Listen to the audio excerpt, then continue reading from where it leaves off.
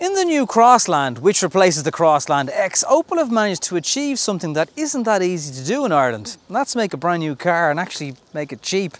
22,395 euro is what this car starts from, excluding delivery charges. Get AGR seats, which are very important depending on what vintage you might be, madam. Uh, and they'll make your driving pleasure all the better because uh, those AGR seats, they're designed by German doctors who just, that's all they do. They just sit in a room and design seats and they've made it very, very comfortable. Uh, this is a particularly unusual engine. Well, it's not that unusual. It's a, it's a 1.2, it's a three cylinder. It doesn't even produce 90 brake horsepower. Thankfully, there is a petrol 130 brake horsepower petrol engine. That is the one you need to go for because this, well, I'll explain on the drive a little later on, but let's just jump in behind uh, the camera and have a little kind of point of view, look around the new Crossland from Opel. Okay, so let's just jump behind the camera for a second, give you a look. This is the visor front. That's what Opel called it anyway. It's a visor. So it'll be black. Doesn't matter what colour you get, that's, that's going to be the front of it. There's the headlights. The repeaters are just in here. That's a kind of a weird texture. It's almost like the polystyrene you get inside a, a box of something. That side profile now might give you an idea. It's not necessarily higher than a, you know, a standard um, segment hatchback car. It looks like it is. And certainly the raised bit over the back here, it certainly gives you that impression. It's like as if it actually gets taller towards the back of the car. Depending on what model you get, you'll get keyless here. If you go for the Elite, this chrome trim, some people love it, some people hate it, but it goes nicely down towards the back of the car. It's a nice line. And the back also looks wider than it does at the front. Certain models will also get auto folding mirrors. It's not necessarily massive back here, but the door for it is like, whoa, size is everything. You'll also notice that, like many cars these days, the name is just under here, Crossland. So that is your boot. It's actually deeper than I thought it was going to be. And interestingly, you have little areas here for an adjustable shelf. So it's actually an okay boot. There's nothing wrong with that at all. Just to give you an idea of child seat area. So that's two child seats in there. Legroom is okay-ish. That's the interior that your backseat passengers will be looking at It's pretty good standard actually. All the finishes and plastics are good quality. Again, it's kind of higher up at the back than it is at the front. You still get more of that plasticky thing there. I like the rear lights actually. It's like actually when you look on it straight like that, it's almost like the back of a van or something. It's kind of a cute looking car depending on what uh, angle you look at it. Chrome is good around the side, but no, not, not everyone's a fan of chrome, but that looks okay. And the black alloy wheels are a nice kind of combo. Nice big plastic covers to keep your legs and your trousers clean.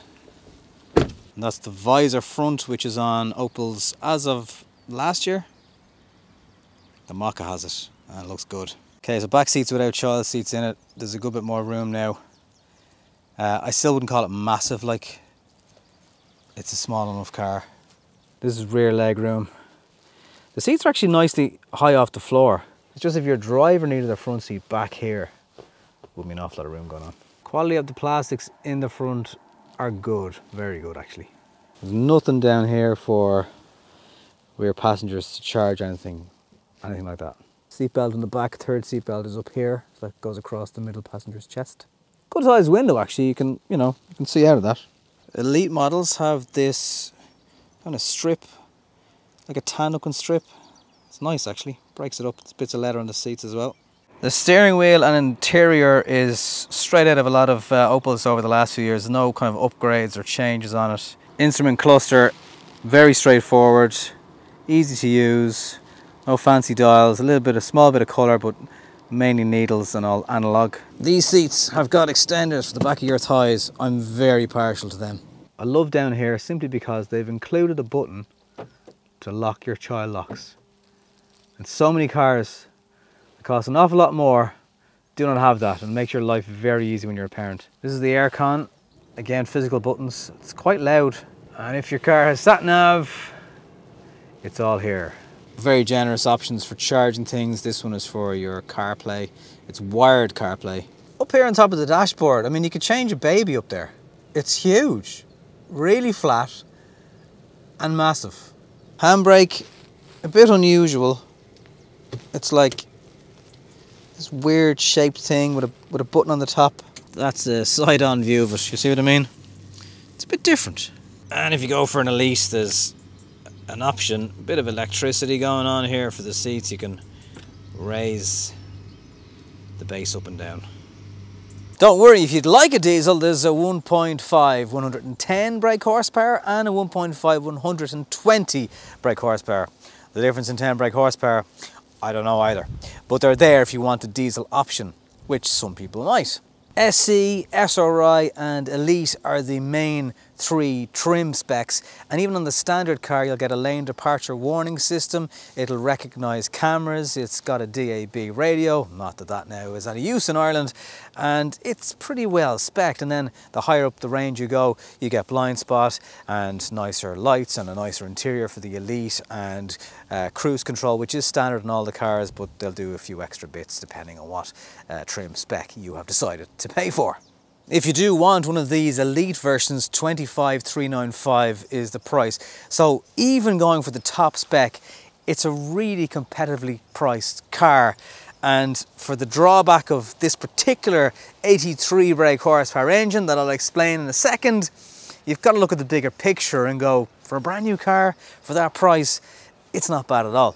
What my advice would be is, if you can stretch to it, and hopefully you can, uh, I would go for something a bit more powerful. At least there's plenty of engine options in the lineup, and I'd probably steer clear of diesel, but I'd, I'd certainly welcome some of the more potent petrol options if you're looking to get one of these cars. Um, it's nicely deadened from the outside world, and I really found that to be the same with the Mokka. It just, it was like as if they just they the engineers had been told, no, it's not quite enough from the outside world, go back and try it again.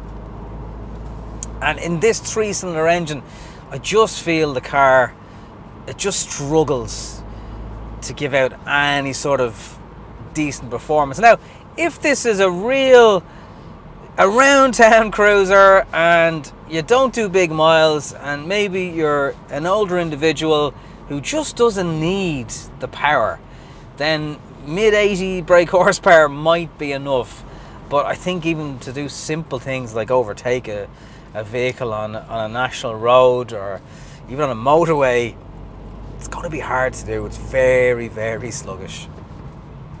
Sticking with that same theme though if you are an older person the bite point on the clutch is ridiculously high. So you will nearly have your knee I'm slightly exaggerating up here if you're trying to change the manual gearbox in it. It's it's far too high. And the throws on the gearbox, they're quite far apart.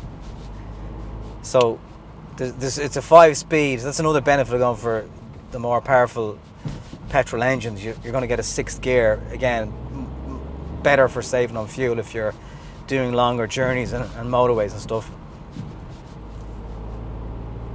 And like you put your foot down and nothing really nothing really happens. So I'm just trying to figure out exactly uh, this particular engine. There's no doubt it keeps the cost of the car down, and you've got to admire Opel for that because uh, cars in Ireland, VRT, NOx chargers, everything. They're just trying to get you every other way. So I've got to admire the fact that they've managed to produce a really cheap car that will still carry a family. But then at what price?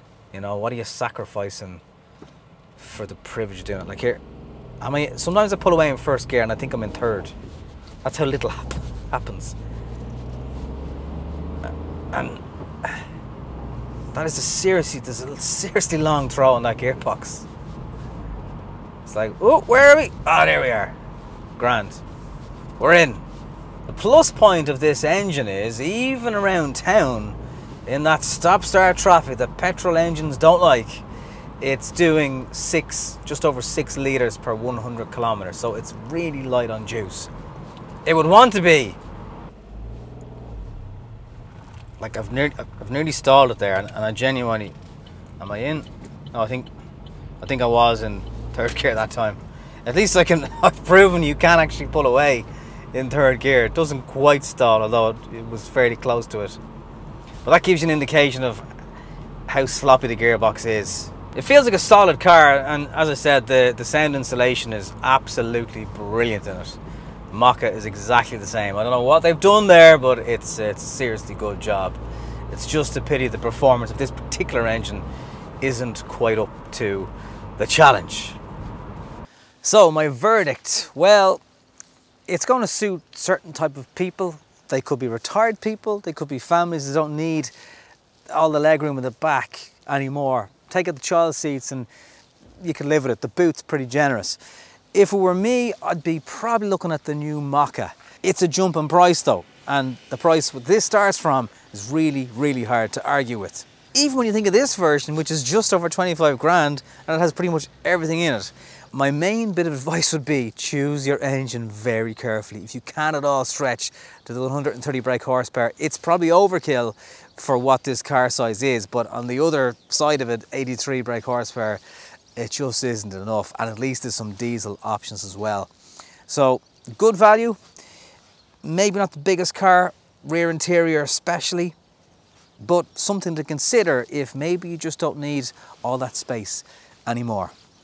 Thank you very much for watching.